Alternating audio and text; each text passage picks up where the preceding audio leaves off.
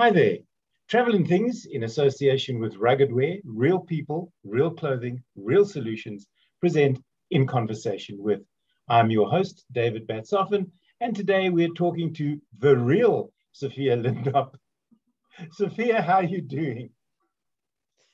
I'm really good. Thank you, David. are we going to do I'm doing well. It's so lovely to see your face. Are you well? I am indeed. Thank you. I love the hair.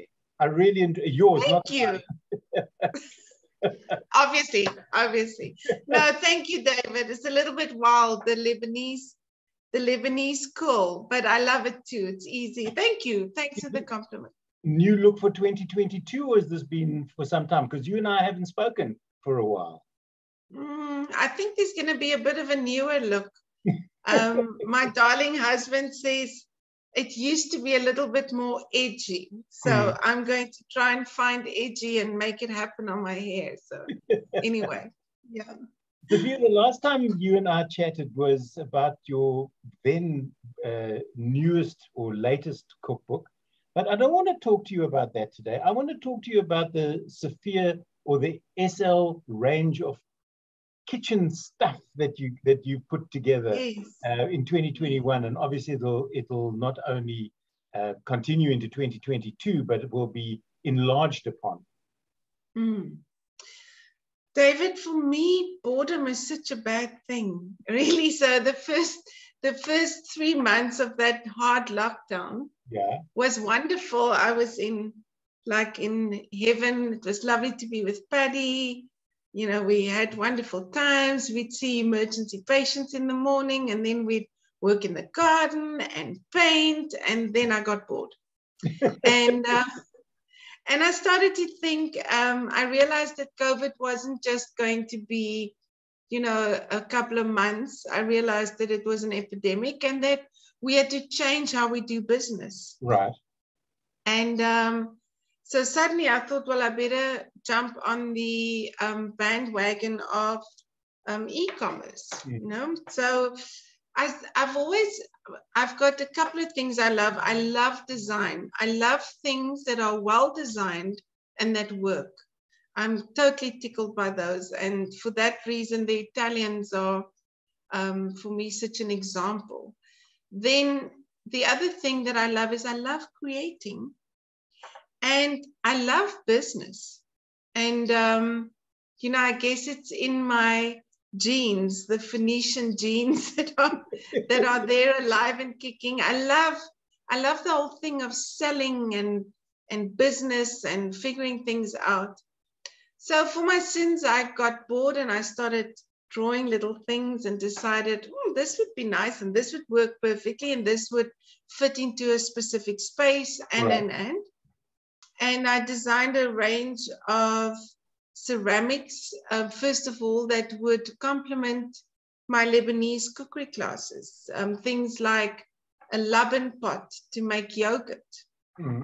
and an olive, um, uh, olive oil dispenser that takes bulk olive oil, not 500 liters, but like a liter and a half.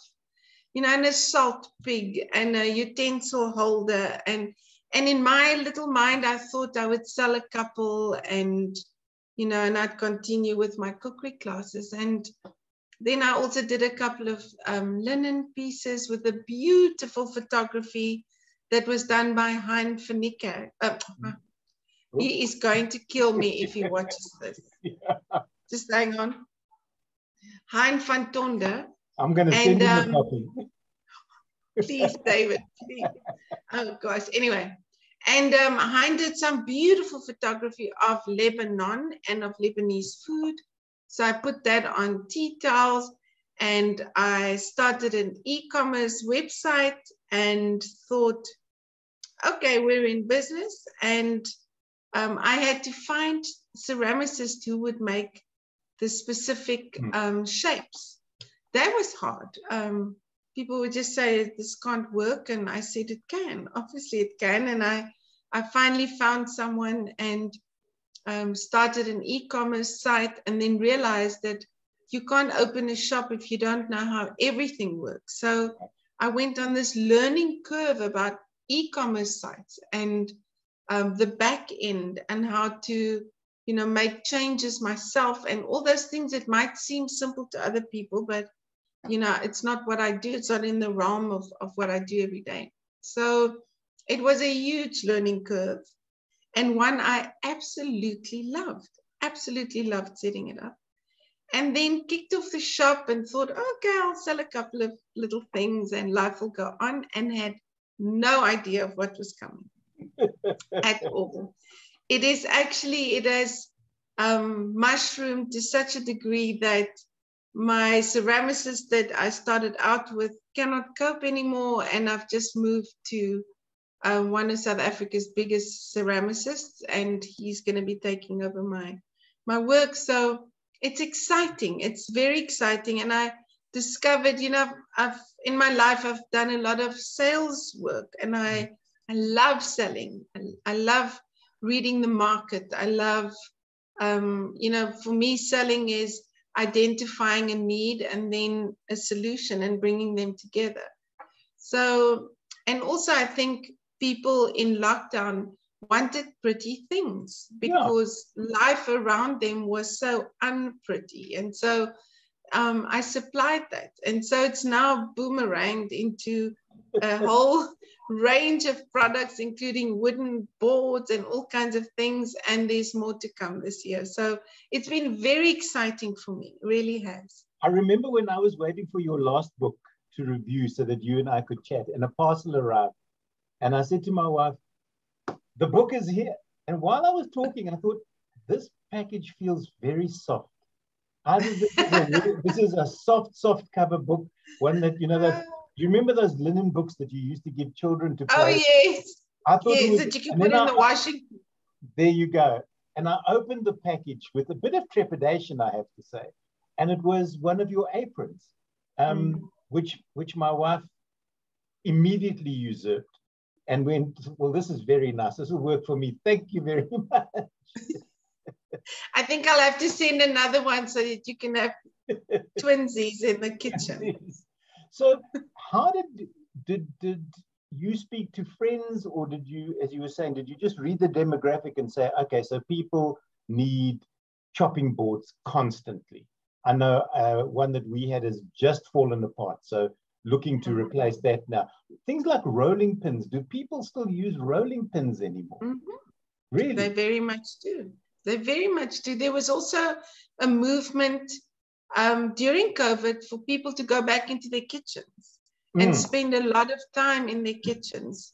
And that's why I did the e cookbooks initially, because I thought, take me into your kitchen with you. And um, so there's definitely, I, I love to look around and I think I have a pretty good feeling of of what works and what doesn't. Right. And um, and I think I just went out from the place of I want to give people something pretty in their kitchen that would remind them of me and that would encourage them to cook more and be in the kitchen more because it is really the heart and soul of the home. Of any home. And I was saying, yes, I was so encouraged by the fact that people were moving back into their kitchens and cooking together. And so I wanted to compliment that and I didn't really know how it would go or what would work and what wouldn't. So when do we get the cardboard cutout of Sophia that will stand in the kitchen administering uh, or administering cooking tips? Put a little beside Jamie. Yeah. I don't think there'll be such a thing, David. I was um I was in um, Douglas recently, um, in the hometown where I grew up, and I went to say goodbye yeah. some people I knew I wouldn't see again. And one of them said, um, but you just you just stole Sophia, you just mm. stole yourself. And I will always be that. I'll not be a, a cardboard cutout. So I'm sorry, I can make one for you if you miss me and send you one, but I will not be a cardboard cutout. Before I talk to you about your recent trip and going home to say goodbye, because I did that two years ago in Port Elizabeth, and it's it's cathartic in a way. But I just yes. want to ask you, you talk about people going back into their kitchens during lockdown. Mm. Why banana bread and sourdough? Sure, I can see by the look on your face. and Dalgona coffee. If I saw another thing of Dalgona coffee, when we were little, my mom used to have Frisco coffee, which was that fine powder. Yeah. And I don't know how we figured out, but we used to put Frisco in the cup with mm. sugar yeah. and two teaspoons of water. And you, we used to like beat it and it became thick and yellow. And then we'd pour the boiling water in mm. and it would make this foam. So when they started with Dalgona, I think it was Dalgona coffee or whatever, I thought, oh, I've been doing that since birth, you know, seriously. no, it, I'm not sure. I think, you know, we are, as humans, we are sheep, really, which I always think is the worst compliment, the yeah. worst compliment because she can be quite tough. But if one, I think it's a competitive nature of my banana bread is better than yours and whatever. So I'm not sure what happened there, but I'm so I'm just glad that that it's over with, um, and that hopefully when things return to, when things return to some sort of normalcy, whatever the new the new normal might be, yeah, that, whatever that is, uh, banana bread and sourdough will be banned. You know? No, look, it's still two of my favorite things. I just don't want to see it on Instagram all the time. Bless my wife, she became a very good baker, but she'd start off, she'd bring me like banana bread, and, and I go, This is delicious. And then a week later, she makes another one and goes, I've changed the recipe. And I go, Why? Last, no, this when it's not better. Don't add stuff. If it ain't broke, don't fix it. Um, so yeah. just leave it as it is. I'm happy with what with what you brought me last week. Make me date oh That's what I really like. Forget the banana bread. But I think date loaf. You like that? I love that. I, as a child at, at home in PE, um, I remember saying to my parents, "Are you going out this evening?" And they'd go, "No." And I'd go, "Please go out," because then the our then domestic and I would get into the kitchen and we'd bake. Oh, oh stunning! Yeah, it didn't. It's sometimes lovely. It didn't last until my parents got home because Hannah and I normally ate the majority of it as soon as there's nothing baked. like warm date loaf with butter on it. Nothing, nothing. The other one, and I don't know whether still whether it's still made, was a thing called a Boston loaf, which you'd find yes, in stores, which is also a sort of a date loafy thing, but it was like a Swiss roll with dates in it. Yes. Yeah. I must say I haven't seen one for ages, but I know the name. I'm not going to go and look for one because David, let's start an, an Instagram revolution. Boston rolls. Boston Come, rolls. let's do it. Why not? Talk to me about your recent visit back to, to where you were born and what it was like going back, saying goodbye, maybe seeing, as you said, seeing some of the people for um, maybe the last time. Mm. Yeah. It was, I feel like um, there's a theme in my life currently, and I guess it's part of, of growing older. Um, you know, going to Lebanon and finding my family, going mm. home to Lebanon, which was what my book was all about, was such a happy, um, healing moment. And um, I was born in this tiny village in South Africa. Um, there was a small Lebanese community. We were all like family. It is where my great grandfather um, and his brother, his young brother, they were in their 20s. They landed, I think it was 1871. Um, they came for the diamonds. Um, the brothers started a tea room and a little store, as us Lebanese people do and Jewish people. and um, and my gra- great grandfather um, got hold of a piece of land and started mining for diamonds. And that's, that's our story. And at, on that land, my grandfather was born and spent the first short time of his life before they went back to Lebanon to say goodbye to family. And then the war broke out, so he grew up in Lebanon.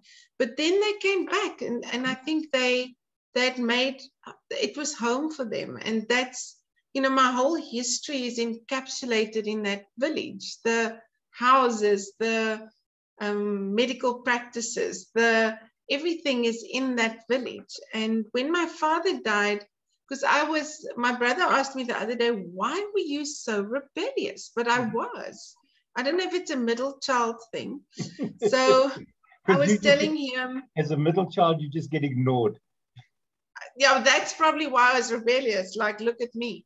I remember there was a, a time when my teachers called my mom, my, my hair was here and it was just too short to pull back and make a ponytail. And they said, well, either she has to make a ponytail or cut this. So I said to my mom, I got this. I'll go to the hairdresser. and I had my hair cut in an afro. so I went to school. I'm sitting on my standard seven, which is grade whatever um, pictures with my tennis racket and my afro and all these beautiful little Afrikaans girls. So I don't know why I was so rebellious, but I was. So I left early on. I left in my um, around 16th year. I went to boarding school and then I just kept going. Mm.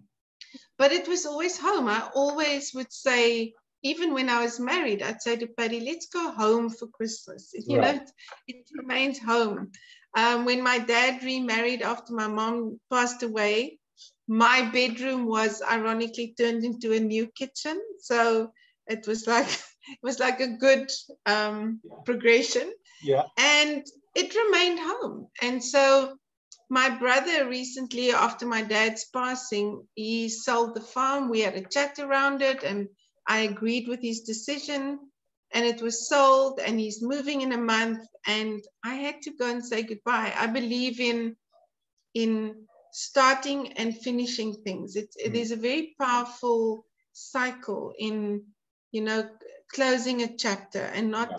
i don't like to drag baggage from one chapter of a book into another so i i went to do that and it was actually um quite a bit easier than i thought you know you you have a life elsewhere.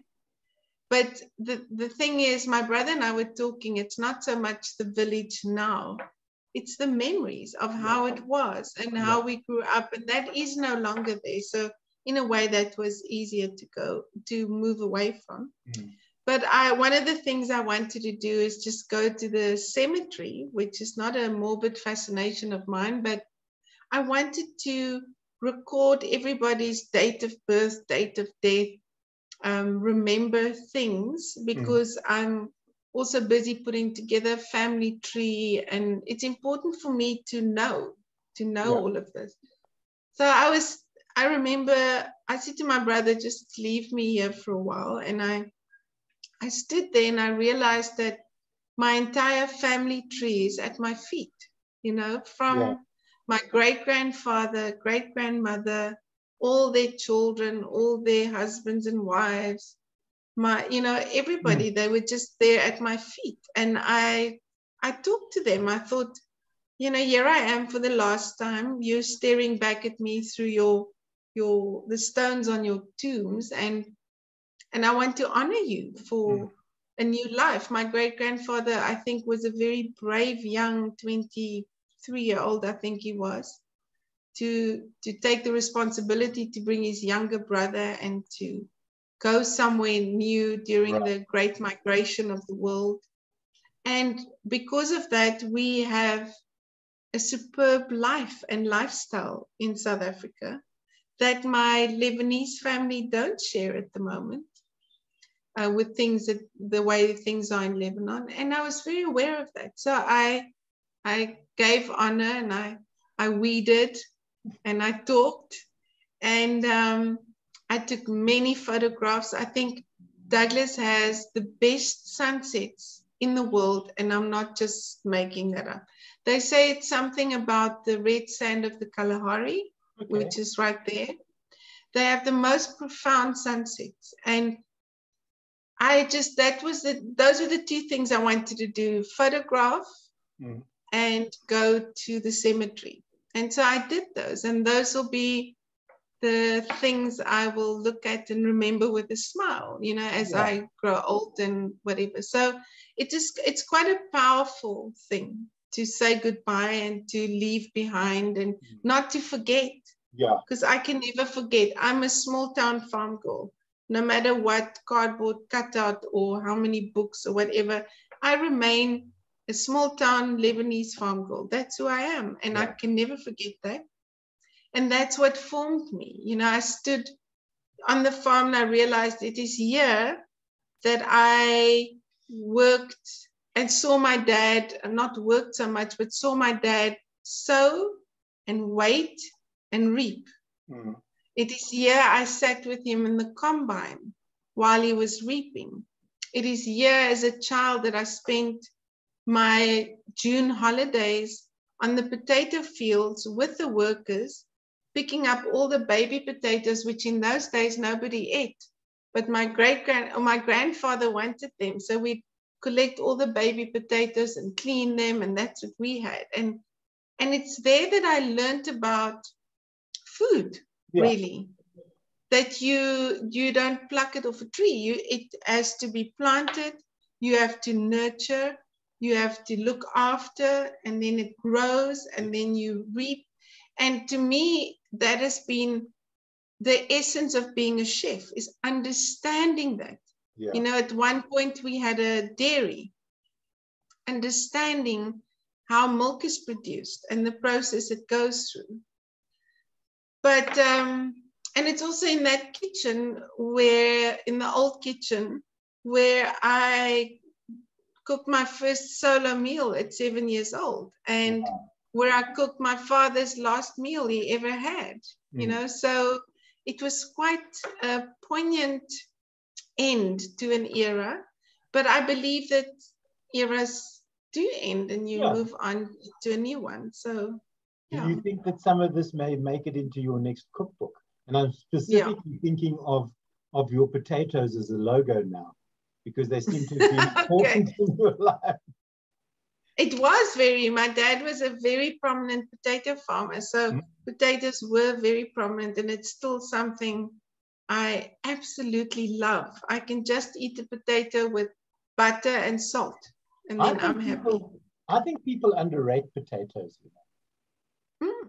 They they don't give them enough honor because they can be this. They can be the highlight of the meal. It's very easy. well. In this house, we have a moment of silence for potatoes because Paddy is part Irish and part German. So I've we've got it from all sides. So when I do cook them, we have a moment silence and then we eat. We respect them. They're wonderful. I mean, I think a potato is the most versatile thing. You can cook it in whichever format. Yeah. And it's just beautiful. Yeah. So yeah. So, it's so, also, I must tell you this funny story. Yeah. My dad was milking um, in my late primary school. He was milking about 250 cows twice a day. So there was vast quantities of milk and it would come into a stainless steel tank that uh, uh, water was run around it. Mm-hmm. So it was a double walled tank. Right. And this, um, and inside was a big paddle that kept moving the milk to keep the milk cold. Mm. And we as children used to run to the dairy and just like open up and this ice cold milk and it made the best yogurt because it was unpasteurized, unhomogenized, un whatever that we do to our milk lately. And um, one day, me and my wisdom, I thought, you know, we walked to the dairy, we decant the milk, then we walk home and we make Nesquik. Wouldn't it be unbelievable to have Nesquik on tap? So my mother used to buy Nesquik in these huge tins because we were on the farm. I knew that I could manipulate my little brother. So I said, listen, dude, I've got a plan for us. So your only decision is, is it pink strawberry or brown chocolate? So he said chocolate. I said, cool. So we go with this tin and I've just picked him up. The tin is open and he's about to decant it because I had it all worked out. The paddle would yeah. move and dissolve. And my father walked in and he never hit us, but he did. He looked at me and he said, Did I breed donkeys? so it was like, What are you thinking? I'm disappointed. Oh, anyway, so yeah. So you didn't get your my, next tip on tap no, my entrepreneurial days were squashed for a little bit and then it started again. So I was going to say, so even then you could have figured, all right, we've got vast quantities ah. of Nesquik now. Now I can sell them to my schoolmates. I would have. I would have. I used to sell everything. So yeah, I'm disappointed actually. let's come back to your let's come back to your e-store if I can uh, before wrapping up. Because it's always yes. great to talk to you and it's always difficult to say goodbye. Um, I know. From my side anyway. Um, and people probably go, come on, David. no, there's so much to talk about. So yes. people, firstly, how can they how can they get to your e-store? We haven't we haven't told them. Yes, so on my website, which is sophialindop.com, which is S-O-P-H-I-A-L-I-N-D-O-P.com, I've got a, a store. I've um, really worked hard at my uh, website to be user-friendly and easy to work. You can book for your cookery classes in all the different venues. You can shop online.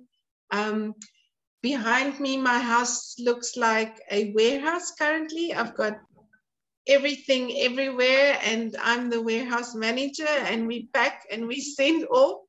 Um, I think the courier guy sleeps outside my door waiting for me the next morning. Great. And um, I really made it easy, I hope, easy yeah. to navigate and shop and um, get to you. So um, I, I just love it. I love the the look and feel of it, and I think um, I just hope that people enjoy it as much as I do. And and I want to thank those who are. I mean, I I've been supported hugely. I'm deeply grateful. It's something I didn't expect at all, and I've got um, loyal customers that mm-hmm. keep coming back, and it's wedding gifts and this oh, gift and wonderful. that gift and it's just wonderful for me. It, it's like a big family, and I'm very grateful, very, very grateful. You mentioned cookery classes. Have you started them again, or will there be cookery classes in 2022?